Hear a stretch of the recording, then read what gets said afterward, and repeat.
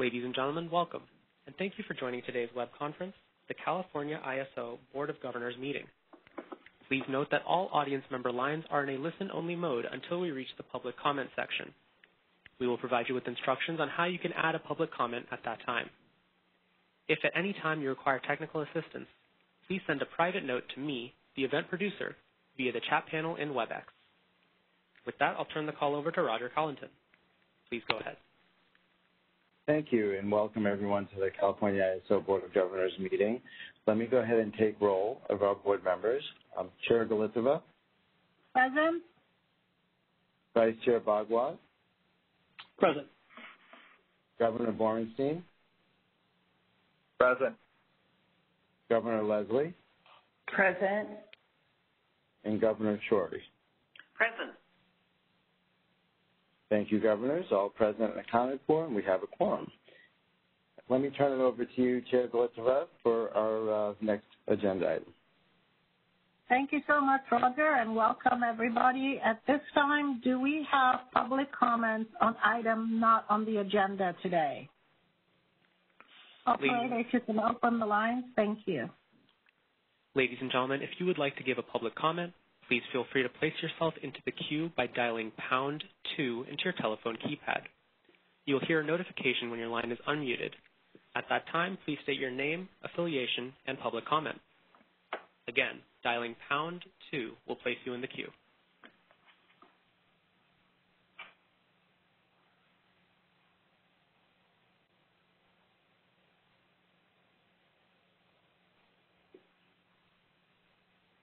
One more call. Dialing pound 2 will place you into the public comment queue.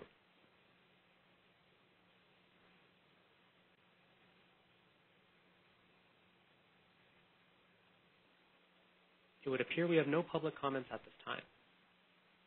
Okay, thank you very much. Roger, back to you for the minutes. Thank you, Angelina. We need a decision on the general session minutes, and we have four dates, February 3rd, 2021, March, I'm not sure if that's a typo or not. Stacy? I, I think that that February 3rd should not be there, Roger. Apologies. I, I thought so. That's what it wasn't just rolling, but I appreciate the test. General session minutes from March 24th, 2021, April 21st, 2021, and the joint session on May 6th, 2021. And we can do that as a group or we can do them individually. I'll start as a group unless anyone has any objections to that. Can I have a motion? Roger, we, Roger, we can't do it as a group because I was not at the May 6th meeting, so I can't vote on it. Gazash. Oh, fair enough. Okay, well, let's do the March 24th and April 21st, 2021 minutes. And so can I have a motion for that? So moved. Second, Osh moves. Jan second. Um, and let me go ahead and take the roll um, for that motion. Um, Chair or uh, Vice Chair Bhagwat. Aye. Governor Borenstein. Aye. Chair Galiteva. Aye. Uh, Governor Leslie. Aye. And Governor Schori. Aye. Thank you. And uh, thank you for the catch on that, Ash. I appreciate it. Um, now let's have a motion for the general session minutes from the May 6, 2021 joint session with the um, EIM governing body. Um, can I have a motion for that, please? So moved. Second. I think we had uh, Severin second, and I'm sorry, Mary, was that you that moved? Yeah, sure. I moved it. I moved it, and I think Mel seconded it, but. All right, I'll, I'll let I'll let Stacy sort that out, and uh, let me go ahead and take your your votes. Um, Governor Bhagwat. I recuse. Okay. Governor Borenstein. Aye. Governor Galiteva. Aye. Governor Leslie. Aye. And Governor Schori. Aye. Excellent. Thank you, Governors. That, that motion passes as well. Appreciate it. And back to you, Angelina. Thanks, Roger. Okay, CEO report, Elliot Mainzer. Thank you very much, uh, Chair Galiteva and governors. Um, appreciate the opportunity today to share some of the highlights uh, from my CEO report. I know you've all had a chance to read it, but I think there are a number of key themes I'd like to reemphasize today, uh, particularly with respect to summer readiness, uh, transmission infrastructure issues, uh, the energy imbalance market, and our new energy storage enhancements initiative. As I have been stressing continuously, and I think all of you have been emphasizing as well, last summer was one of the most essential messages coming out of last summer was the importance of effective communication and coordination across the entire stakeholder spectrum. This last several weeks has involved a lot of activity on that front. On April 15th, we hosted our Summer 2021 Leadership Roundtable, uh, we benefited from the participation of 18 utilities and other organizations from across the West as we reviewed the key lessons learned from last summer, looked at the supply-demand fundamentals for this summer, and reviewed all the current actions underway and, and, any additional steps we may take either individually or collectively to be as prepared as possible for this summer. I think it was a very, very positive conversation. Uh, following week, our operations group conducted tabletop exercises with the adjacent balancing authorities across the West just to make sure that real-time communications and coordination will be as effective as possible, particularly during potentially stressed grid conditions this summer. On, on, May 4th, we also participated in a very productive workshop hosted by the California Energy Commission through its Integrated Energy Policy um, report, where we took another look at the CEC fundamentals, compared notes with, with the CAISO's numbers tied out, and I think we all have a pretty good sense that the bottom line for the summer, as you'll hear later today uh, through the summer assessment, is that significant progress has been made in, in increasing the generation stack. Uh, I think that our infrastructure is, is likely to be in, in better shape compared to last summer, uh, but we do have residual risk uh, related to uh, significantly below average hydro conditions, wildfires, and of course, the probably the greatest potential exposure of another west-wide heating event which will stretch the system and require significant mobilization, including on the demand response side. So we're looking forward to the presentation on that front. I also wanted just to note that uh, one of the other topics that came out of the Summer Readiness Roundtable was a, was a request by some of the utilities to make sure that we have as effective communication, potentially through the RC, on wildfire risks. So if one of our entities starts uh, running into wildfire problems, we're going to make sure that that information is disseminated across the interconnection so others can do contingency planning on that front. And we're also going to make sure that as part of the Flex Alert mobilization that we include the publicly owned utilities and the CCAs in that campaign as well. So we touch as much California load as possible.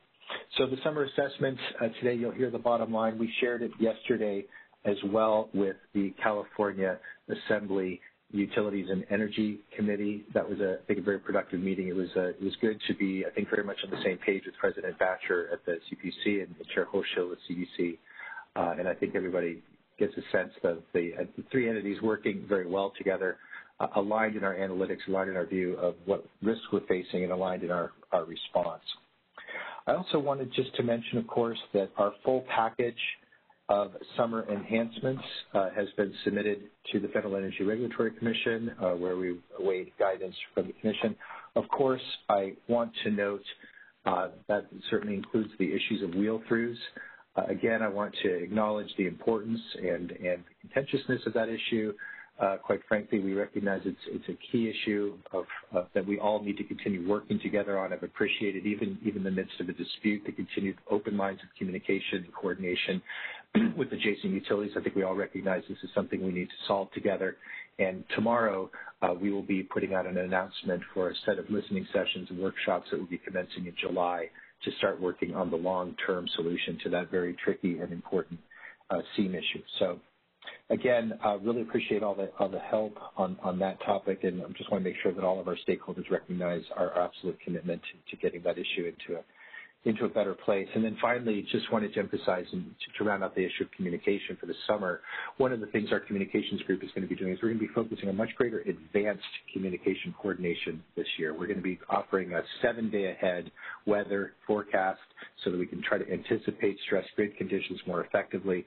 Uh, we will be using all of the tools at our disposal to communicate in terms of social media, web, through the Flex Alert campaign, and of course direct communication with the utilities so that we can keep a really close tab on operating conditions and anticipate contingencies and stress conditions uh, better, quite frankly, than we did last year. That will promote better decision-making, optimization of resources, and ultimately allow consumers to anticipate when they be, may be called upon to help us avoid rotating outages.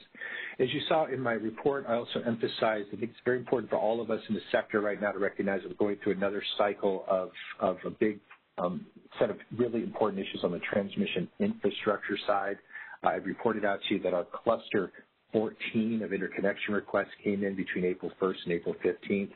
Uh, it was an overwhelming response. We had uh, 373 projects totaling 111 gigawatts of new requests, with about two-thirds of that being from stationary battery st storage resources. That was in addition to the 306 projects from earlier clusters totaling 70.7 gigawatts. The cluster 14 applications were actually almost two and a half times the 155 applications received in cluster 13, which was our second largest batch. So like many transmission providers around the country, and particularly acute here in California with the kind of procurement and construction that's going to be necessary in the next several years, particularly with the OTC retirements and with Diablo Canyon coming offline in 2025.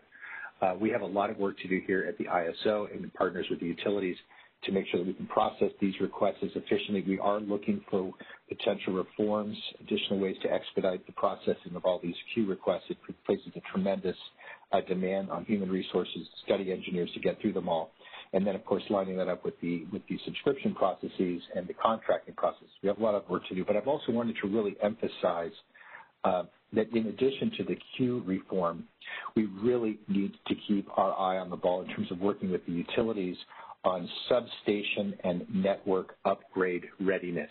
You know, we're facing 5,800 megawatts of resource retirements here in California in the next several years and we absolutely have to make sure that we're able to get that next generation of resources onto the grid as expeditiously as possible to maintain reliability. And as I noted uh, in my report, we will face significant reliability problems if we cannot connect the next wave of clean energy resources to the grid in a timely fashion. So this is all hands on deck, a lot of work with the utilities to make sure we have state awareness to any delays, uh, and we all need to be as efficient and as cooperative and as coordinated as possible to make that happen.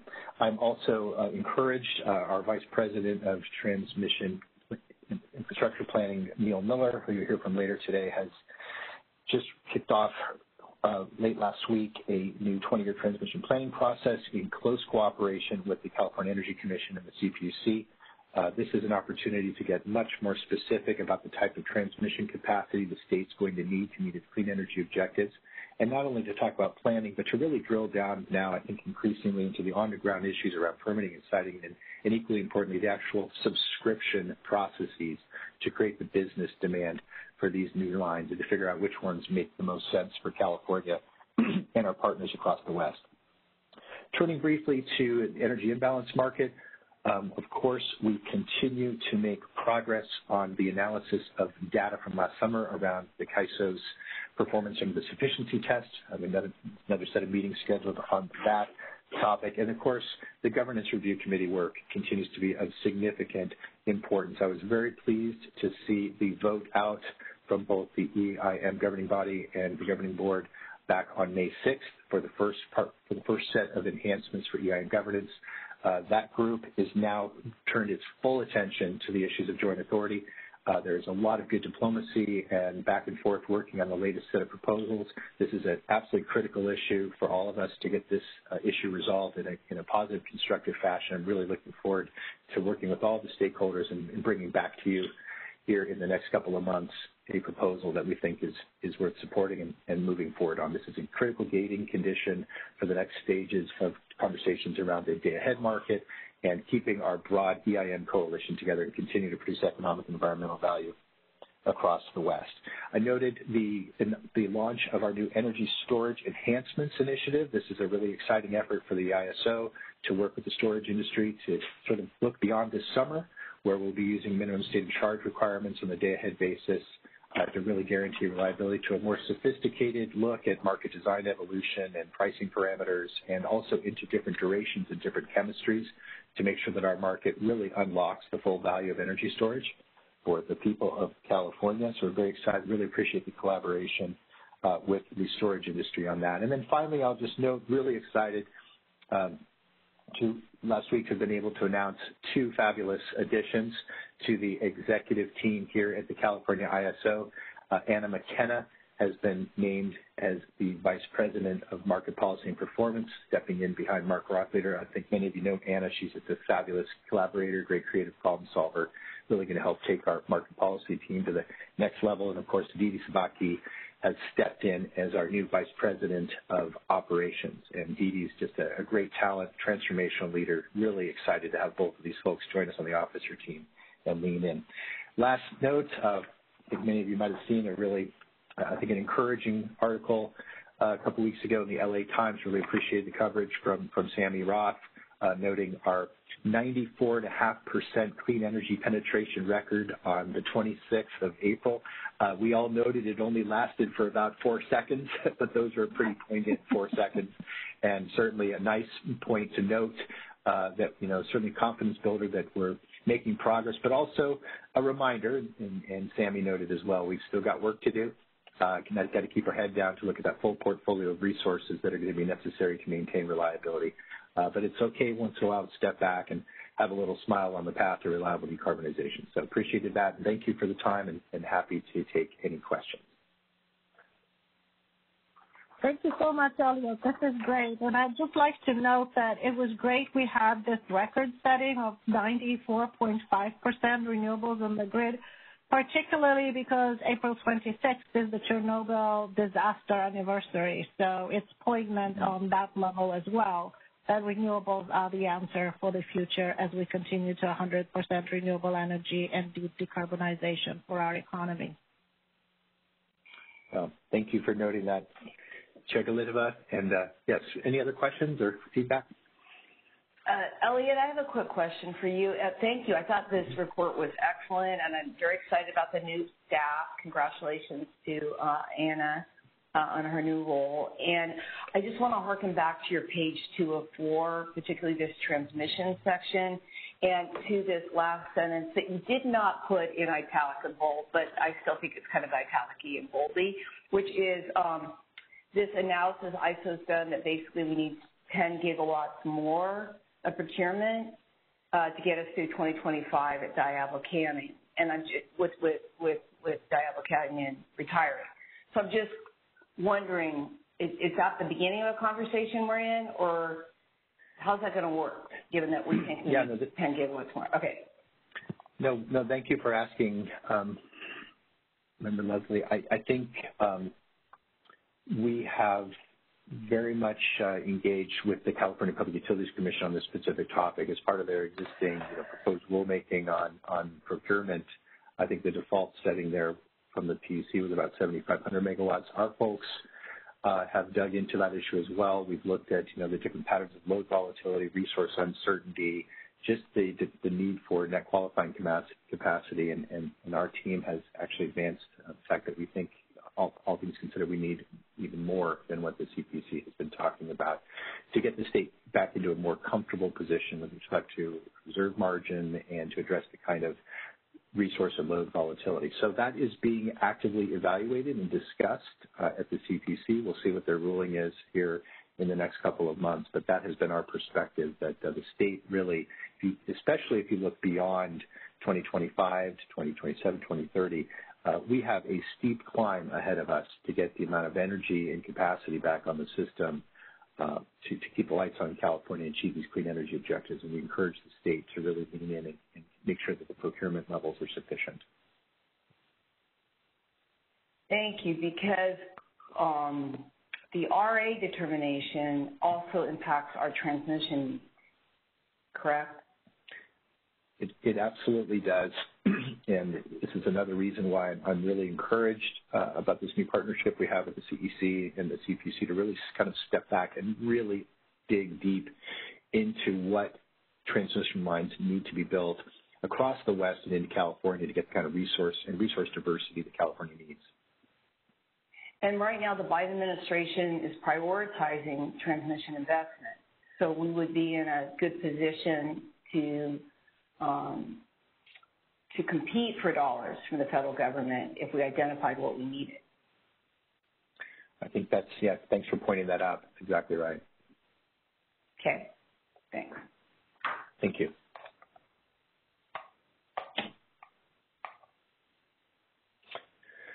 Okay, if there are no more further questions, uh, Chair Galipa, pass it back to you. And thanks again for uh, appreciate all your support and to all of our, our colleagues and, and, partners on the call today. We've just really appreciated all the input and, and all the work together here in getting ready for the summer. Any additional questions? Okay, um, moving on to the next item that ties into the very important decision we'll be making on joint authority um, and the EIM Governance Review Committee and all of their hard work. Uh, so Therese Hampton, the chair of the GRC, will be giving us a report.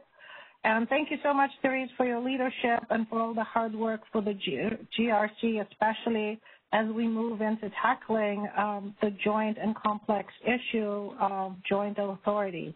So look forward to your report. Great. Thank you, Chair Galiteva and governors. Uh, happy to be with you today. And similar to Elliot's comments and on behalf of the GRC, we really want to thank you for the discussion we had um, during the joint session and the approval of part one of the governance proposal. We are very encouraged by that, and there are steps underway to begin to implement that with the body of state regulators, the Regional Issues Forum, and it's our understanding that CAISO staff will be working on modifications to governance documents to bring to you uh, for your final approval. Um, but uh, with that, we're in this part one and this part two uh, approach to this with delegation of authority being the key focus of part two. We, the GRC has been working on that since March. Um, we've kind of uh, got a process that we built out to, to get to some solutions there. Um, over the last month or so, we've been doing one-on-one outreach with stakeholders to get their to get their perspectives, specifically on the scope of joint authority and dispute resolution. Those were the areas where we really got the most comment, maybe some differences of views and perspectives. And so last week, uh, with the input from the stakeholders that we received, we shared a straw proposal that modifies our previous proposal on the scope of joint authority and dispute resolution. And really, we're designed to reflect the input that we've received, try to find kind of the, the right balance from what we've heard from stakeholders. And we're holding a stakeholder workshop tomorrow afternoon to discuss the proposal and get feedback. And we're going to take written comments um, on both the proposal and the workshop discussion uh, through Friday, June 4th. And so based on what we hear both tomorrow and uh, what we see in written comments, we'll determine our next steps um, with that. If we feel that we've really kind of heard uh, all, all that we need to hear, we will move forward with a proposal to bring to you for your consideration. If we feel like we need to iterate a little bit on a couple of things, we will make you know another step of iteration and then bring something forward. Uh, like like I've said before, we are trying to to uh, move the delegation of authority issue, um, you know, at an appropriate pace um, and and get to a solution that kind of meets the the general interest of all the stakeholders. Happy to take any questions. Thank you so much, Therese. Thank you for running such an inclusive and open process. It has been it has been very transparent and and very professional and and very thorough. So I think stakeholders really appreciate that tremendously as we move these important issues of delegation of authority and dispute resolution forward. Any questions for Therese from the board?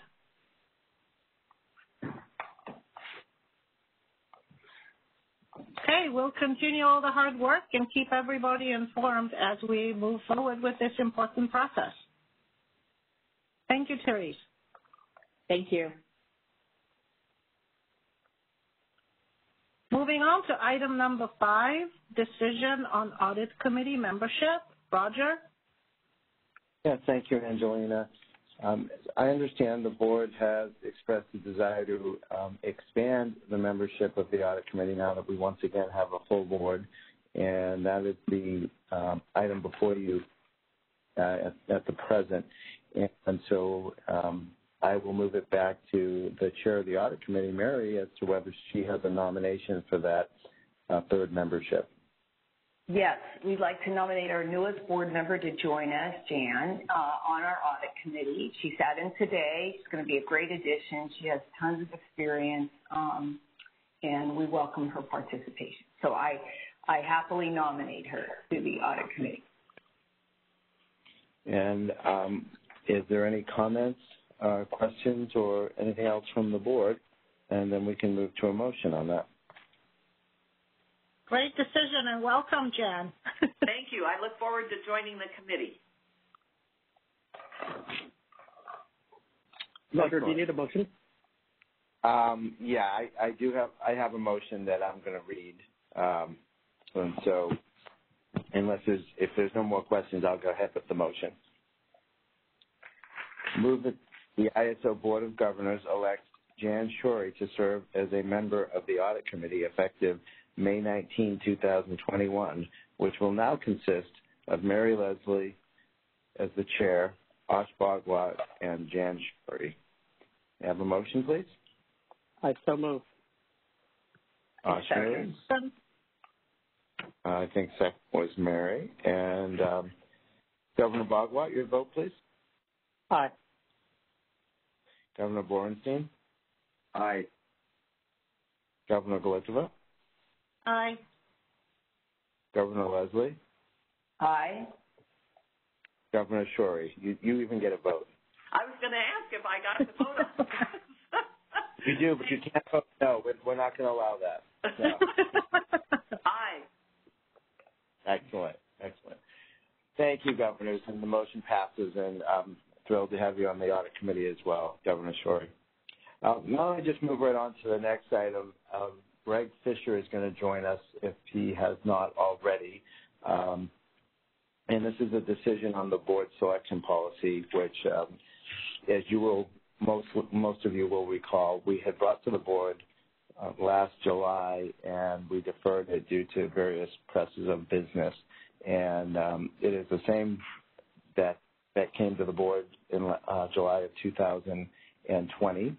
Um, but Greg will brief you on that. And I would like to thank Greg and um, Burton Gross and other members of the legal team who worked very hard on um, putting this together and working with stakeholders, as well as Stacey Crowley's group and Peter Calusi and others working with the stakeholders. So um, it was really a good effort to do a refresh that was um, timely and uh, maybe overdue for many years on the board selection policy. Um, Greg, are you on? Roger, can you hear me? I can hear you. Uh, let me turn it over to you, Greg. Thank you. Great, thanks. Good afternoon, everybody. Uh, thank you for uh, your time today. Uh, oh, good. I just got indication that everybody can hear me. Uh, so uh, just a little bit of background on this item, in addition to what Roger has provided. you know, we believe that the board selection process has been working well over time. however, in discussions dating back to even 2019, with the sector leads who actually run this process. Uh, we were, you know, in discussions about how it was working, and really they indicated that the policy and the process could actually use some uh, modification and, and really modernization, if you will. And so we uh, worked closely with them, and then we uh, stakeholdered the, pro uh, the policy itself uh, back in 2019 and 2020. And then, as Roger mentioned, we brought it to the board last July. Nothing has changed since then. Uh, this is simply uh, bringing the same policy back to you uh, for your consideration at this point. And I'd like to give a little bit of background on, you know, what the policy is so everybody can understand it, and then how we propose changing it.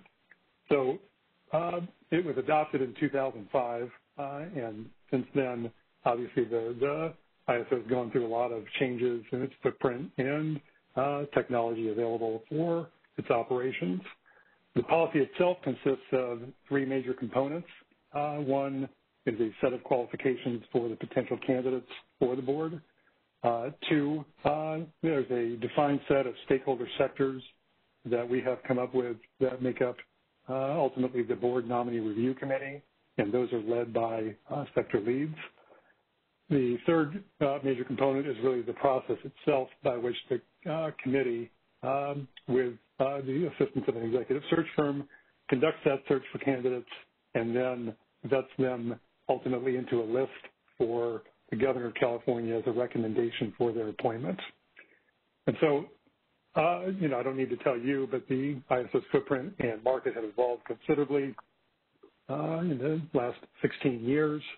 Uh, we have new market offerings, new technologies, and even new types of market participants that didn't exist back when this was written. Uh, and then management now proposes then that we uh, provide the following changes that are germane to this um, policy. I'm going to go through them uh, a little bit in detail after I list them. So the first one is an enhanced introductory section uh, that updates the description of the ISO's current role and corporate structure.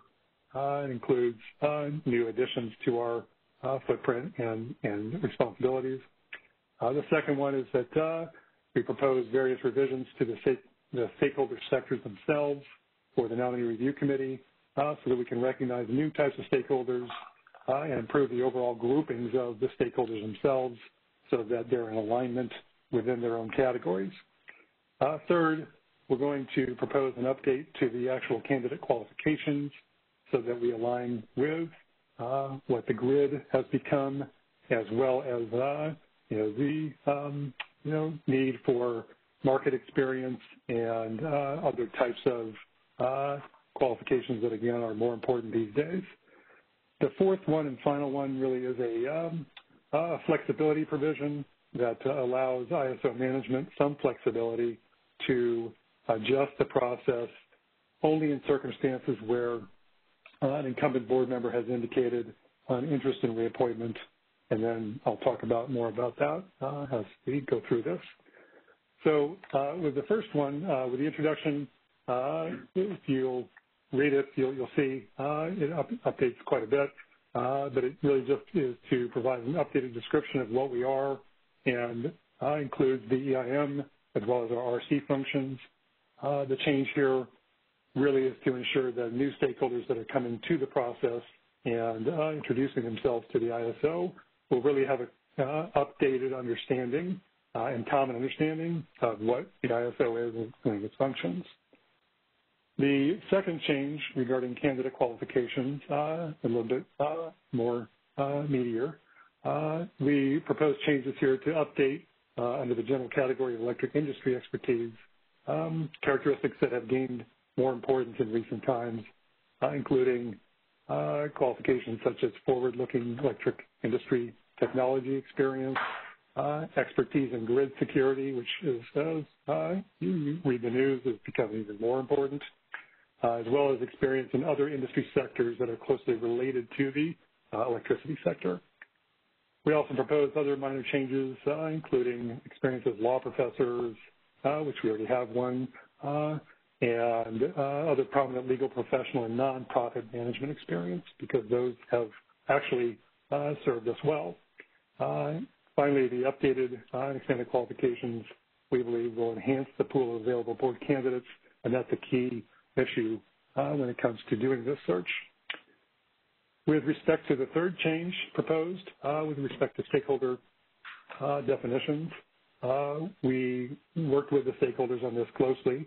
Uh, they were developed at the inception of the policy, and really some of them have become outdated uh, in, the, in their terminology as well as their application to the current ISO um, footprint and its regional outlook.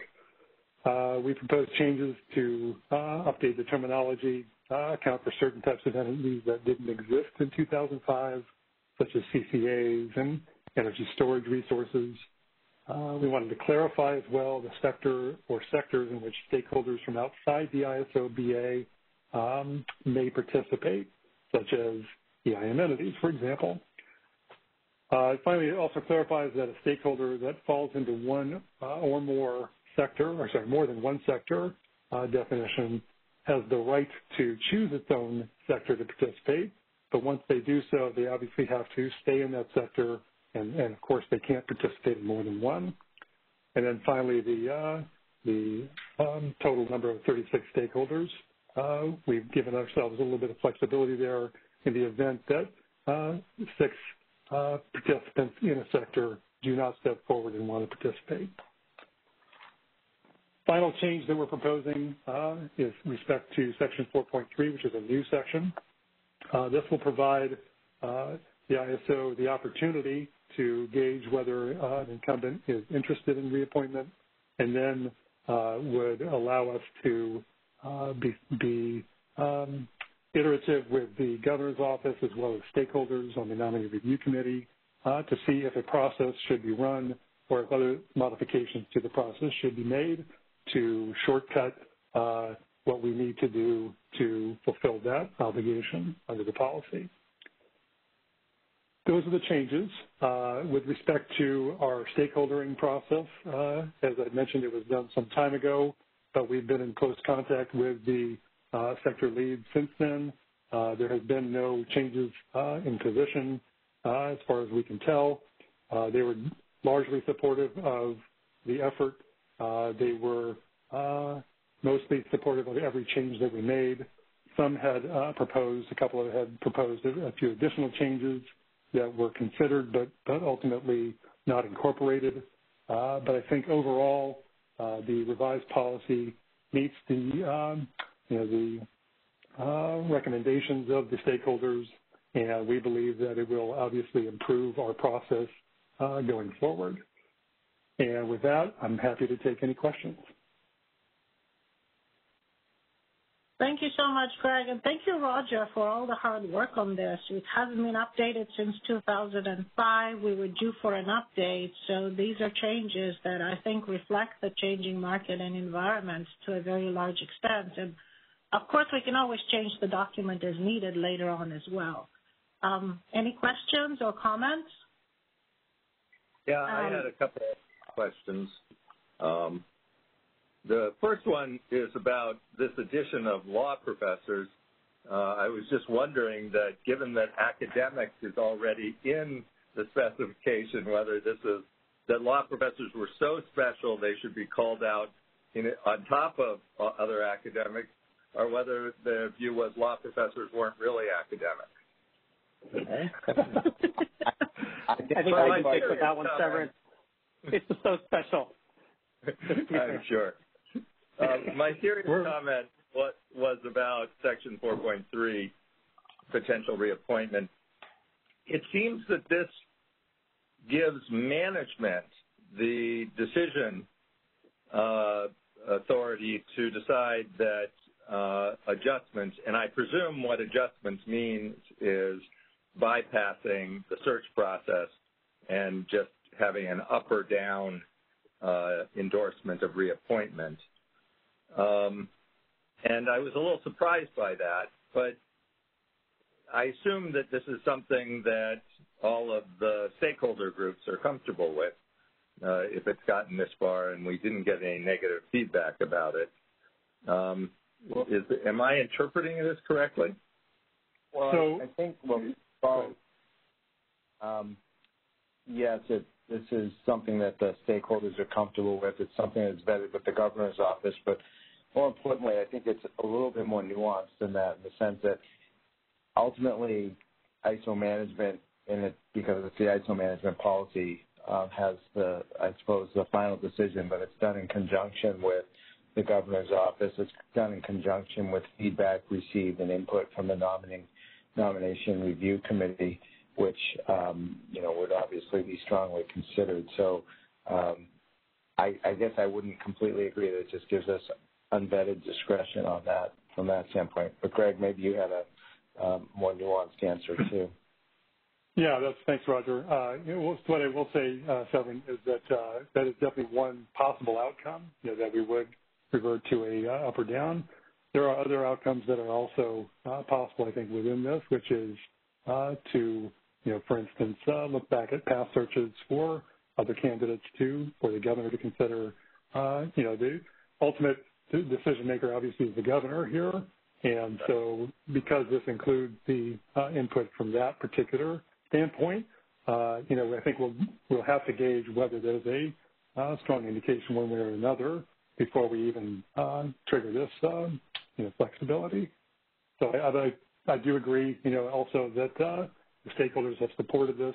The last thing they want to do is spend, you know, several hours of their time and travel and so forth when uh, there's a foregone conclusion as to who the appointee will be. And so I think they're supportive of that for that reason. I hope that helps uh, understanding. Yes, and, and it doesn't need to be said, but of course this is also done in consultation with the board member in, as well. Yes, absolutely the right. board member, I would hope so. it's not forced conscription. Uh, yeah. You're correct. well, as the board member who is next up for reappointment, yeah. I was mostly looking for reassurance I wouldn't be looking for another law professor. well, you don't have that degree yet, Severin? Do we want to? Do we want? Sorry, go ahead, there. I have, yeah, I just have one more. As the, as the board member who just went through this, I, I think that you know it is kind of interesting because you already have the process where the the stakeholders have given a short list to the governor to even be considered ostensibly that the governor takes that seriously, right? So you have to make that list, and then the governor has to decide.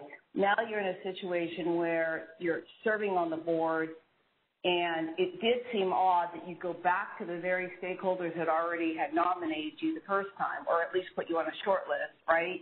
Um, and then I, I, I agree with Severin. I, I'm not the up or down from from ISO management puts a board member in an interesting position actually because I think there are situations where there that where the independence of a board member is critical, um, and that you can't be in a situation where you have to worry that you would make a decision that you thought was best for the ISO that staff wouldn't like. So I, I do worry a little bit about this language and the vagueness of it and what it's inferring myself. Well, I, I think if make a comment because I'm probably the worst case example because I think all of you know that I'm just finishing up the third year on what was Dave Olsen's term, so I haven't even been confirmed yet. I've been here for about three and a half months, and yet I would be up again. I will be up again, assuming I get through this year, uh, at the end of the year to stand for a full term, assuming that goes forward. I have to say, I, I looked at this language because it did obviously uh, have direct impact. Uh, and it seemed to me that what we're really dealing with is, uh, I think it's built on the understanding that at the end of the day, the governor reserves the right to appoint whoever the governor chooses to pick. And really what we're talking about is what is the process to get to that point. And if the stakeholders and the governor's office are already indicating that they don't see the need to, you know, search firms are not cheap, to be frank. So if they don't see the need to go conduct a search, then we would save some money and potentially everybody can move forward. But I would assume if there are problems on either side, that then the traditional process would be followed. So that I hear what what you're saying, Mary, but that was my view of it. Is at the end of the day, the governor oh. is going to make the decision. So. Oh, gee, and in that instance, the fact that we that we shut the stakeholders back together to reconvene on somebody who's just it makes no sense. But but you are putting another layer on the board member, you know, and and so I just, yeah, I, I Roger. If uh, if I, if I may, Mary, um, yeah. I think we're I think we're removing a layer is what we're we're trying to do. Is if it's um to to Jan's point, if it's a foregone conclusion from the governor's office that the sitting board member whose term is expiring and who has indicated an interest in being reappointed that the governor is so inclined to do so and doesn't feel the need for an executive search. It removes that layer of then doing two things. One, as Jan stated, um, the expense, the time, the energy that goes into an executive search. to what has in the past when this became an issue, it hasn't been an issue recently, I don't think, um, subject to check, but in the past when it has been an issue in various contexts, it's created a lot of frustration amongst the stakeholders in the nominating yeah. review committee. to go through all of the work to um, maybe come up with some potential selections, and then at the end of it all, saying, you know, was a foregone conclusion ultimately. So it, I don't see this as a as management putting itself in the position. We do not want to do that. We're not. Um, we are not involved in the selection. We are a conduit between the nominee review committee and the governor's office. Roger, can I make a suggestion? Um, Please. Can the minutes can the minutes reflect our mutual understanding? The ISO management has no role to play in determining whether a board member should or should not be reappointed.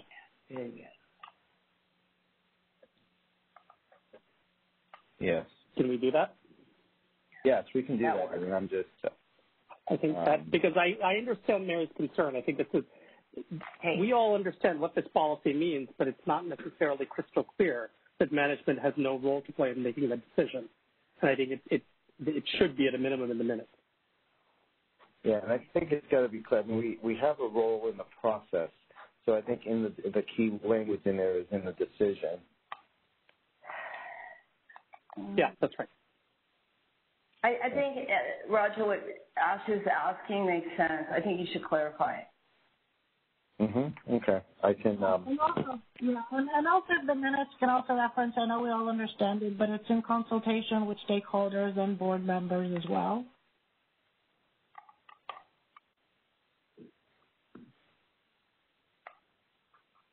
And we, yeah, we can reflect that in the minutes. So what I'll do is the motion will state, um, you know, what we usually say as described in the attached memorandum, uh, say, and as discussed at the board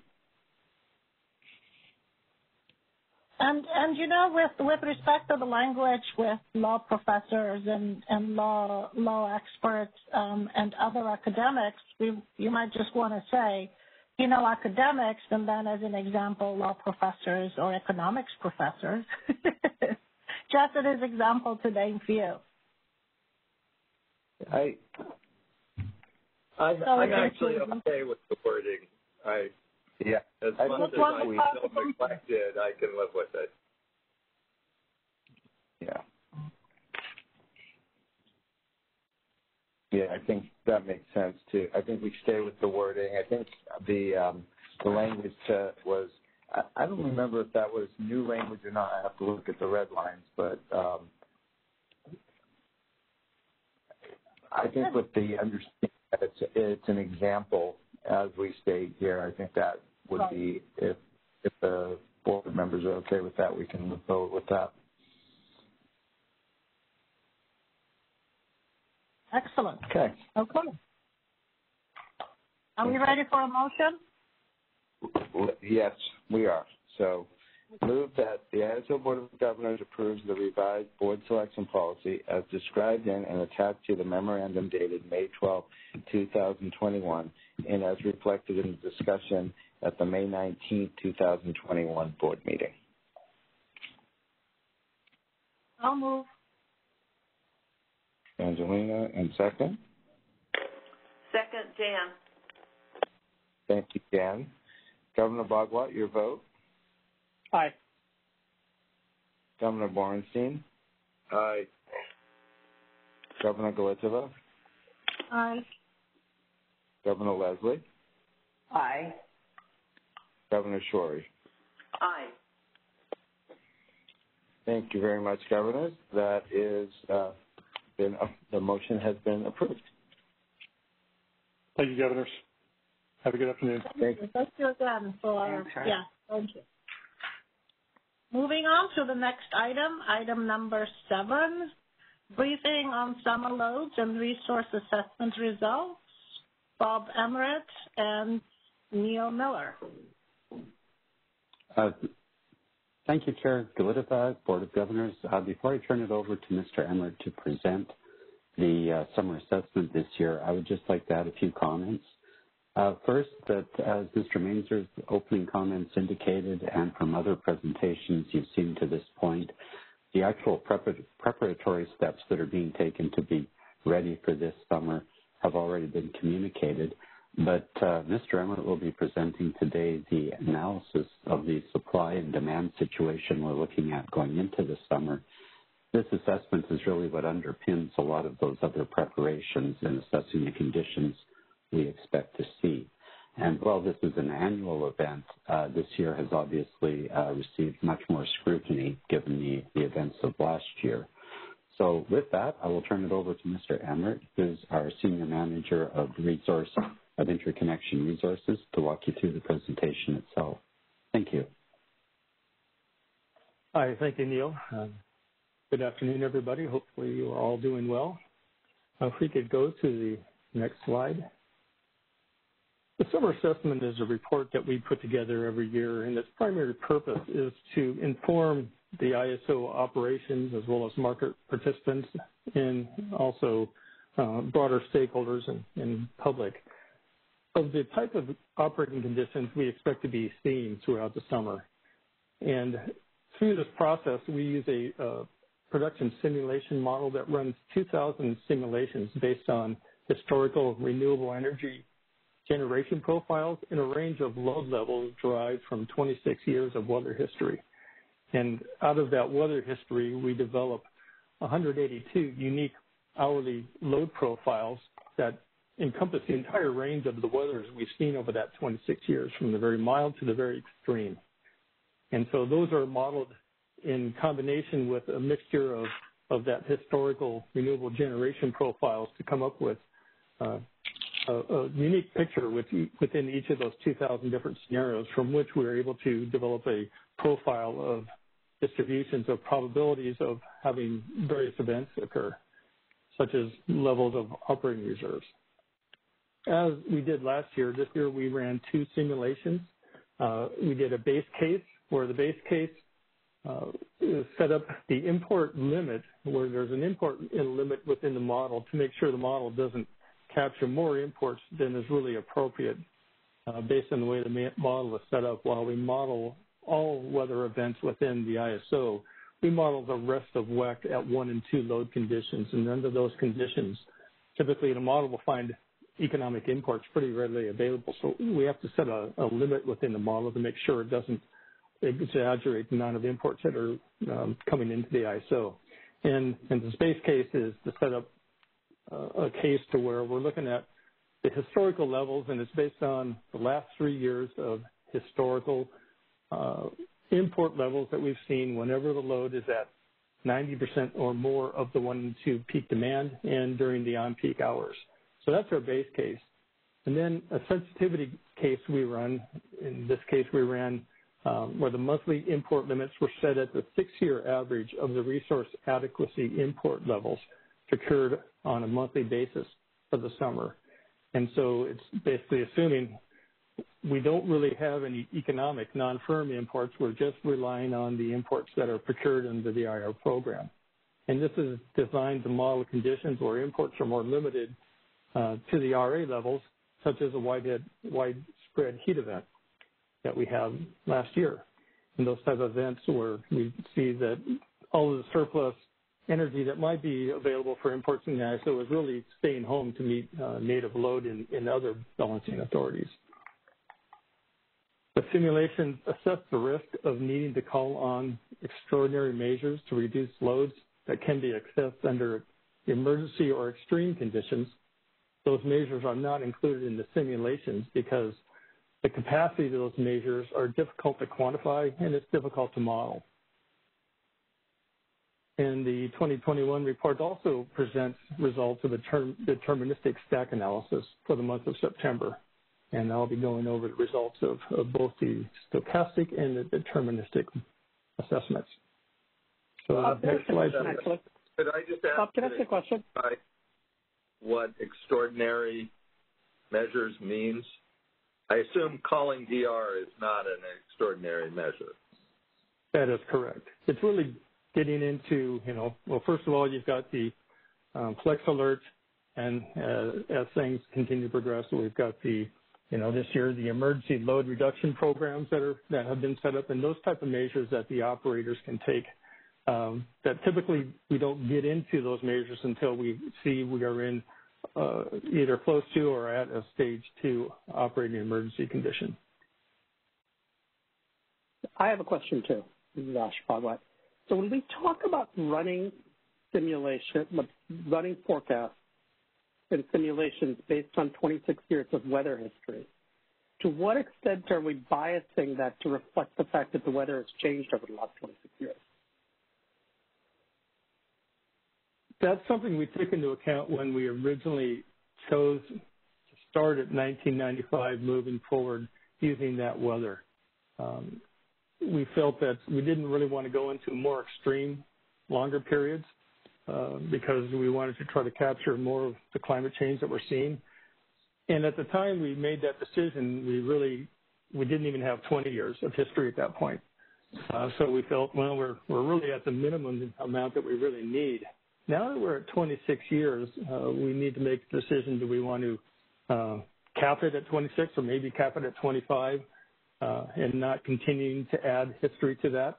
Uh, so that's a decision we'll be making next year. But uh, we haven't tried to do anything to actually bias it, other than limiting the history to a shorter period. So you're not you're not looking at trend lines and saying that every five years we see X, X sort of changes in average temperature or, or rainfall or things like that? No, we're just really using the profile from those 26 years and and using each of those years as as a starting point for uh, a profile of developing the load or the load forecast. That that this is a conversation for later, but I wonder if we should be reconsidering that moving forward because 1995 is entirely irrelevant to what's going on in 2021, in my, in my opinion. Okay, thank you.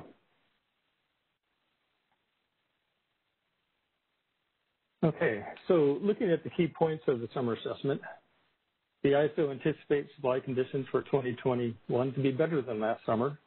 Potential challenges can arise if an extreme heat wave affects a substantial portion of the West reducing the availability of imports into the ISO.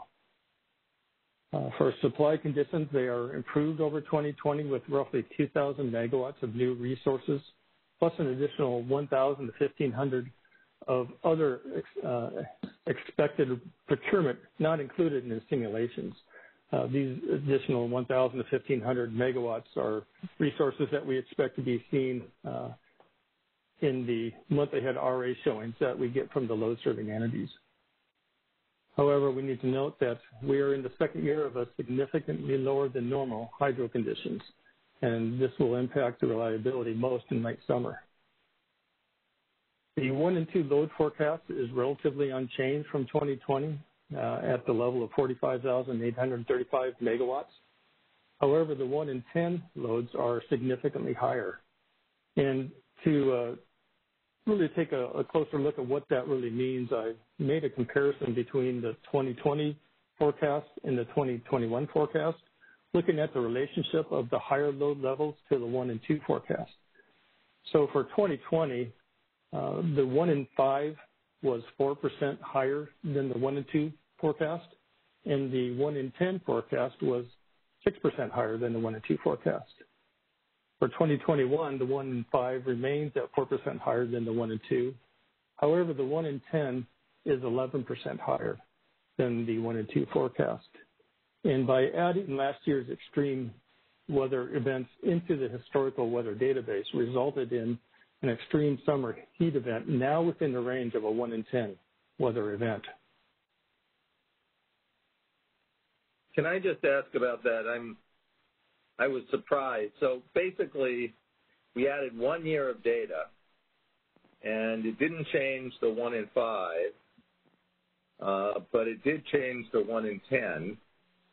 And if I understand how this distribution of 26 years works, that means it must have moved some piece of the distribution from between the 80th and the 90th percentile to between the 90th and 100th percentile. I think that's the only way that can happen. Um, that's correct. And so basically, the entire update is due to last year's heat spell. And I guess following on Asha's comment, uh, this this doesn't. See, it seems like we should be able to do something more nuanced than that. In thinking about the distribution of possible uh, weather forecasts and therefore load forecasts going forward. Um, I, I'm just surprised that uh, that's the sort of state of forecasting of this sort. Um, yeah, I guess that's not uh, a question. Commissioner Borenstein, it, it's Neil here. If I could just add in, uh, just add a finer point to uh, Mr. Emmert's presentation. The, the relationship between the base forecast, the one and two, that is taking into account, and our, our methodologies project fairly closely off of more recent experience and generally also align very well with the Energy Commission's forecast for the next year. So to the extent that higher temperatures are being seen and that on average, and that's driving up the average expectation for load forecast, that would already be taken into account in the one and two. And oh, then we I, are using, sorry, and then we are using this more recent this data as well. Sorry? I'm surprised at the opposite. I'm surprised that we are taking one year of data and allowing it to so completely shift our forecast for the top of the distribution. Hmm. I mean, it's having a huge effect on the top of the distribution based on last year. And maybe that's the right way to think about it, but I would think both that we should be, we should try to be doing other things to try to anticipate the, the high-end tail, which is, of course, the most important part of the distribution, and um, not overweighting just one year of data. This is Bob. Um, I, I, think I need to make a clarification here. We have an entire distribution of this 26 years of, of weather-related loads. So within the distribution, we have the 1 in 10, 1 in 15, 1 in 20, you know, all the way up. It's just now that, you know, typically what we publish in these reports are the 1 in, 1 in 2 and 1 in 10 reports. We've sometimes we've had the 1 in 5 as well. But what's happened is an extreme weather event has basically shifted from being a 1 in 12 type year event to now more of a 1 in 8 type year event. So we haven't heavily weighted anything uh, beyond just adding that one year. So it's it's just adding the likelihood of an extreme event. Uh, now that we have one more extreme event added to the range of the higher end, it, it has pushed that one in ten kind of crossed that point to where one in ten now is within the range of those extreme events. Yeah, but my point is it, it's making a huge difference in the probability of a much higher load forecast at the top of the distribution. And the top of the distribution is what really matters here. And so we are based on one year of data. And I'm not arguing that we shouldn't be anticipating much hotter circumstances. I'm just eh, concerned that we're waiting until it happens to really make a big change in the forecast. I mean, this is all coming about from the fact that we are adding 2020 and dropping, it would be 1994 if this is a rolling 26-year window. Uh, and it's saying that the top 10, the 90th percentile, instead of being 66% higher than the median, is now 11% higher than the median, which is um, a huge change. And I, I, I just worry that if this is how we're doing it, we are, and maybe it is how, maybe it's the state of the art, but it, it seems like there is, uh, there, that, that there's some pretty sophisticated climate modeling out there that might be able to tell us more about what we should be thinking about in the top tail of the distribution. I, I, this is more a long-term argument for perhaps mm-hmm. uh, revisiting this in, uh, in, in sort of the whole process, not for changing this number for this year. Uh, obviously, it's, that's not what I'm suggesting. Uh, Governor Borenstein, this is this is Elliot Mainzer. Um, I think consistently now, I think we now, it's a great example of why we have economists on our board with deep econometrics experience and appreciate the input. Maybe this sounds like this would be a good opportunity as we get offline to, to dive further in and see if we can get some more of your input into the mix for subsequent iterations. So appreciate the thought process and lots to think about. I think for, for, for Governor Bhagwat as well, thank you for flagging these issues.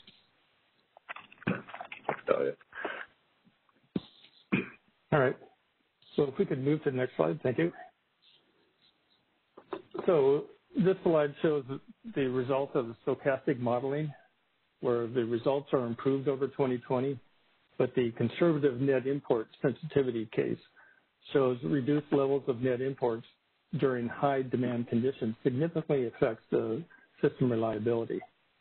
So to look at the probability of the ISO system capacity shortfall shown in this table, we are looking at the base case and the sensitivity case and, and keying in on the results of what's the probability of a stage two, which is the point where operating reserves get to 6% or less, or a stage three, which is where operating reserves get to uh, 3% or less. And this is the point where we would be in, in initiating uh, firm load shedding.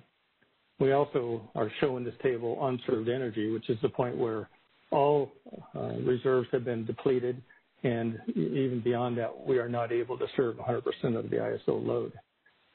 So to look at the base case, these numbers are um, are within the realm of probability, but they're fairly low. Uh, to put it in context, a a, uh, a 5% probability is equivalent to a 1 in 20 years. So while within the range of probabilities, uh, it is a, a somewhat lower probability. Moving to the sensitivity case, however, these numbers are significantly higher, where, um, again, looking at the stage three emergency case of 12.5, that's equivalent to a one in eight year event. So the probabilities under those type of conditions where this particular uh, sensitivity case was designed to look at conditions where imports are only to the levels that have been procured as firm imports under the IR, IR pro, or RA program, that um, under those types of conditions, we are at an increased risk, whether that be from a widespread heat event or, or some other type of uh, operating condition.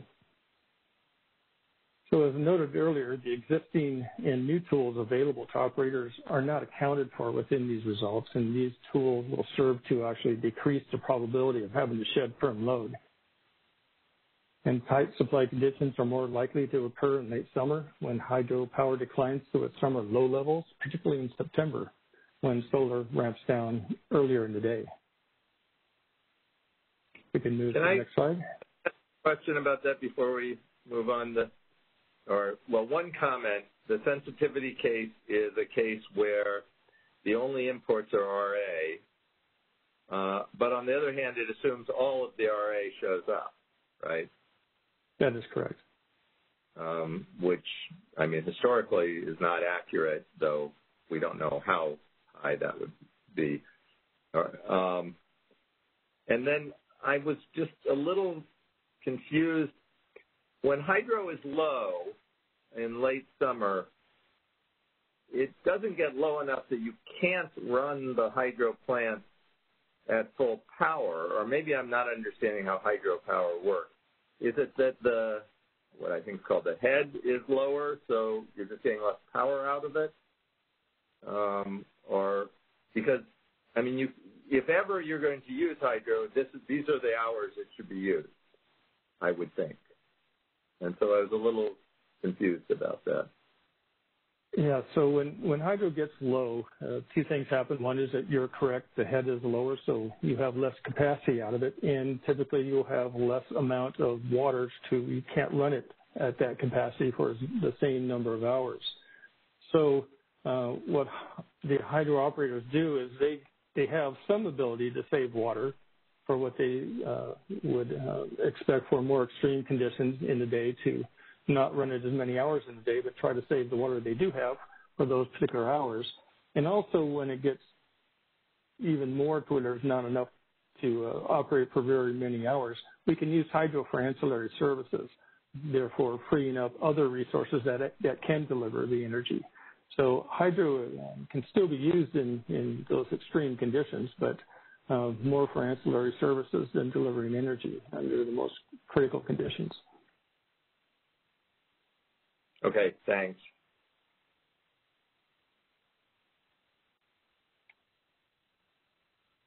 So this chart shows the hours that um, the worst one hour condition of each of the 2,000 scenarios occurred at.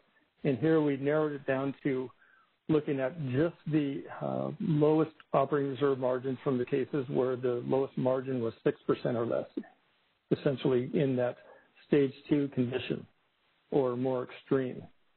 And, and then we plotted this uh, for the hours those occurred as well as the uh, profile for the um, solar generation.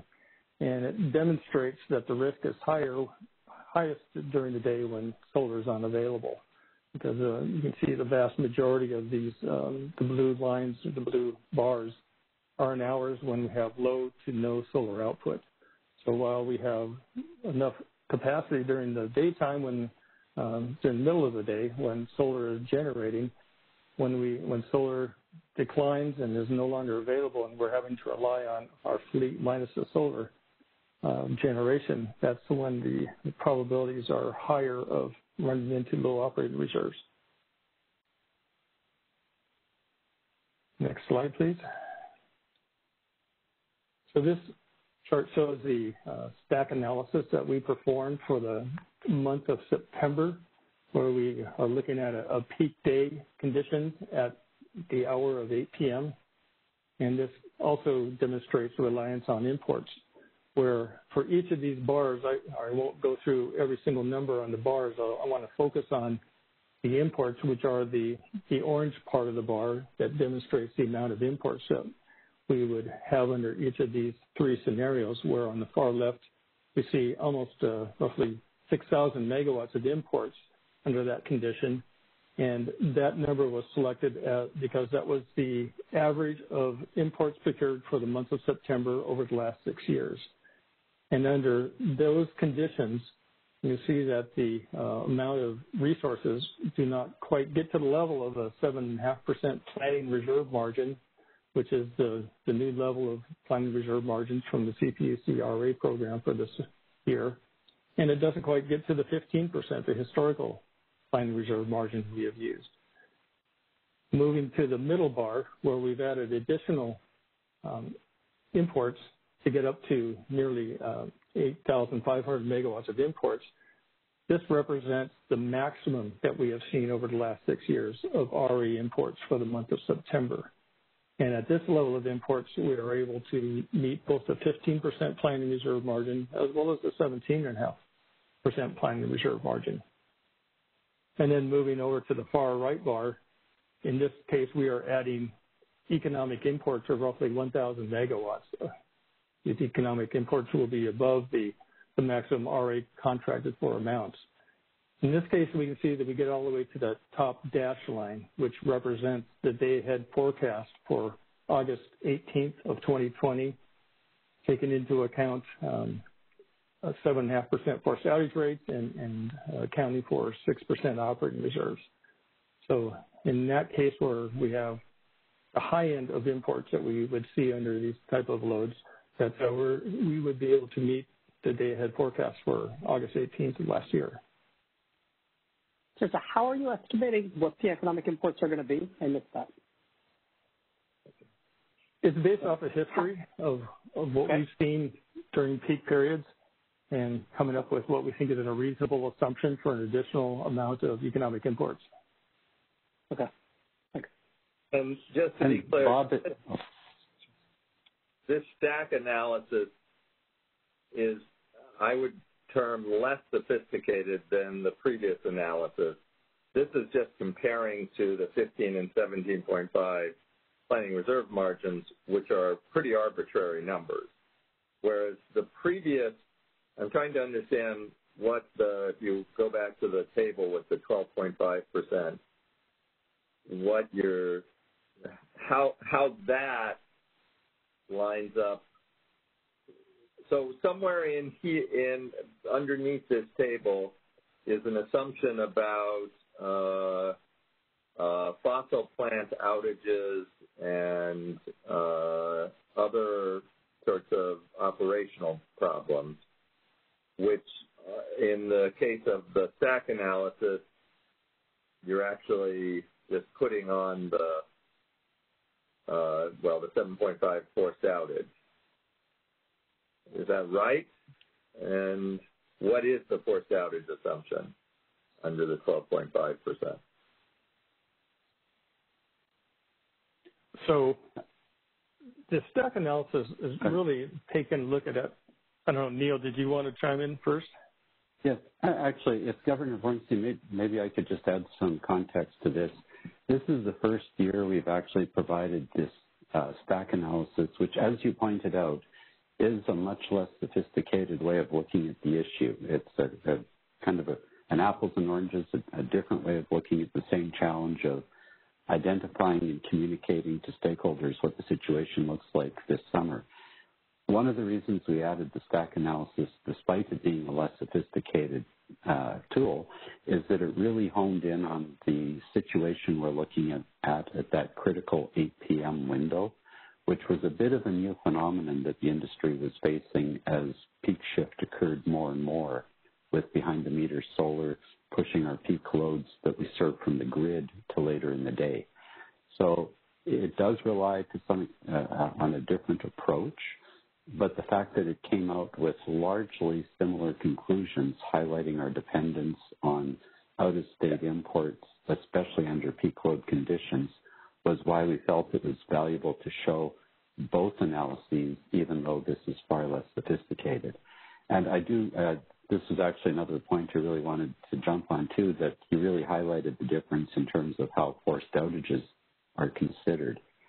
In the stack analysis, we're adding up the total capacity without allowing for uh, forced outages.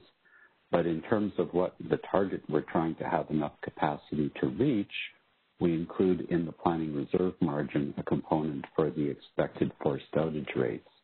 And we do believe that between 7.2 and 7.5 is probably more reasonable for the actual average forced outage rates that we experience.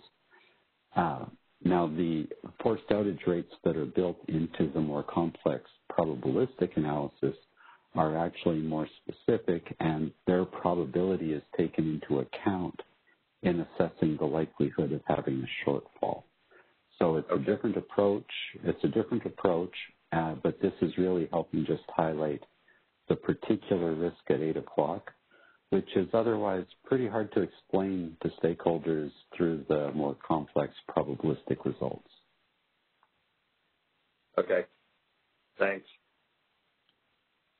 Yeah, another way you might look at it is these three bars on um, slide six here is probably close to three of the 2,000 scenarios that we see within the stochastic analysis.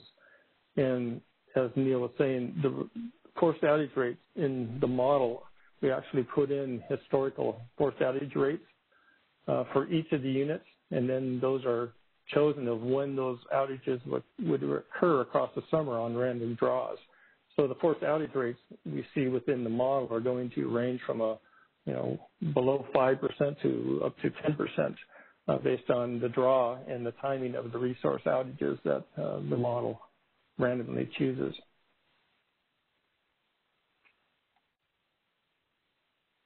So for conclusions, overall the capacity conditions are better compared to 2020, but the grid remains vulnerable to high loads and the availability of imports during widespread heat events and load hydro conditions increase risk, particularly in late summer. The added storage and retaining 400 megawatts of generation to the reliability must run process improves expected performance for 2021. Uh, the projected new storage additions are expected to be effective at supporting system capacity needs during post-solar hours. I will note that uh, this coming summer we will have 10 times more the battery energy storage system resources on our system compared to what we had last summer. And the operators of these systems will need to ramp up their learning curves pretty quickly so that they are able to pre be prepared to operate their facilities effectively to meet ISO needs. Some of these resources have been online for a number of months, but we still have some resources that have yet to come online. The distribution of probabilistic results based on historical weather now reflect last year's conditions, and as a result, the 1 in 10 conditions now reflect higher load patterns than in past year studies. However, just to be clear again, um, the full range of the profile of uh, load forecasts are modeled.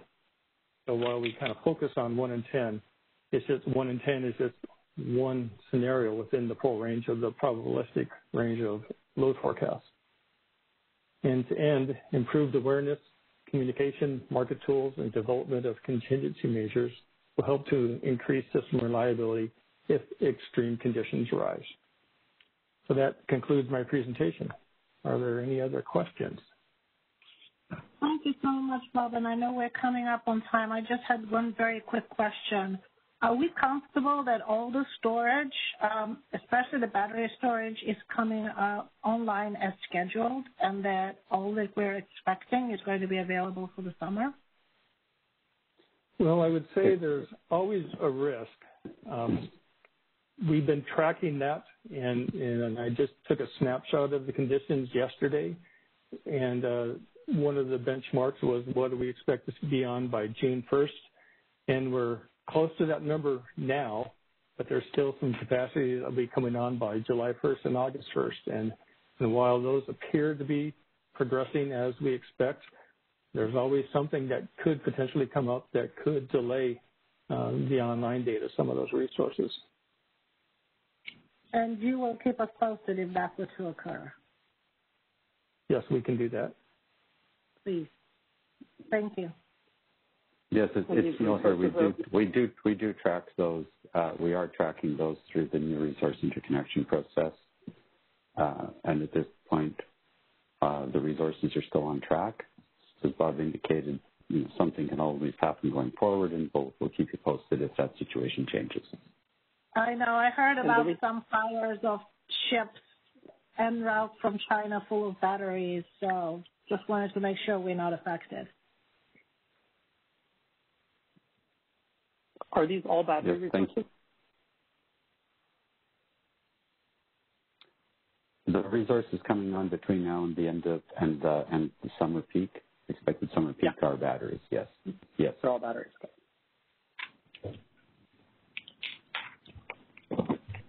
Thank you, governors and Chair Galiteva. Uh, I would, if um, if we're done with item number seven, um, Unfortunately, I'd like to circle back to item number six.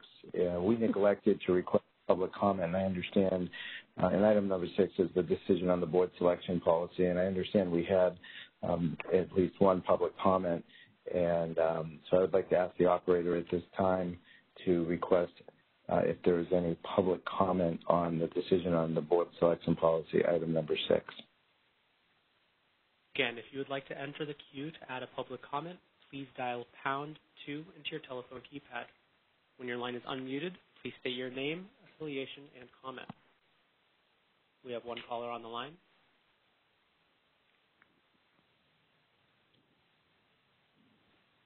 Please go ahead. Uh, thank you, Roger. Good afternoon, CAISO Board, CAISO Management. This is Eric Eisenman with PG&E. I appreciate uh, your taking these comments uh, a little bit out of order. I've been on the board nominee review committee for close to 15 years, leading the transmission owner sector. Been very involved in this for for a long time. First, I want to thank Greg Fisher and Quentin Foster for their engagement on this matter uh, over the last year or two. Uh, so PG&E strongly supports this revised board selection policy. All of the proposed changes are very logical in uh, the, the board memo, it noted that PG&E and CMUA filed joint comments. Uh, CMUA was unable to provide uh, a speaker today just because of conflicts, but they authorized me to to say that they also support the changes. I'd, I'd especially like to note the improved language in defining the six sectors in Section 4.2 I feel really important that there's clarity as to which sector all industry segments would fall into. This includes EIM entities, CCAs, and storage providers. I would note that a couple years ago that an out-of-state EIM entity wanted to participate in the board selection process through the, the board nominee review committee. But there wasn't really a sector that was the right fit for them. So they joined the transmission owner sector, even though that sector was meant to be the sector for transmission owners in the CAISO Balancing Authority. It was it was a little awkward. We dealt with it. It was the right thing to do, but it, it showed that the policy uh, needed some updating. So this revised policy certainly takes care of, of an issue like that. As, as has been indicated, this policy hasn't been substantively revised since 2005. So here, here's a little Monday morning quarterbacking. The policy should have been updated quite a few years ago. So with that in mind, I would encourage the board, CAISO management, and the board nominee review committee to routinely review the policy to ensure that this policy stays current. Thank, thanks for your time. Thank you, Eric. That's a really good point, and apologies for not opening up the item for public comment after we were done with the board discussion. We'll make sure not to do that again on decisional items. Thank you. Thank you, Eric. Thank you, governors. I think with that, unless there are any questions on the informational reports which have been provided to the board or future agenda items to be discussed, I think we may adjourn. Anybody else have comments? Um, board members, questions? Stacey, you had indicated that Eric might want to make a statement. Uh, that that was Eric. Okay. Oh, I, thought I thought Eric Hildebrandt. It was Eric. Okay. Okay, good. All right, so no more questions. Um, and comments? As Roger said, we can we can adjourn. Excellent. Thank you, governors. Thank you, everyone. Appreciate your, your time and participation.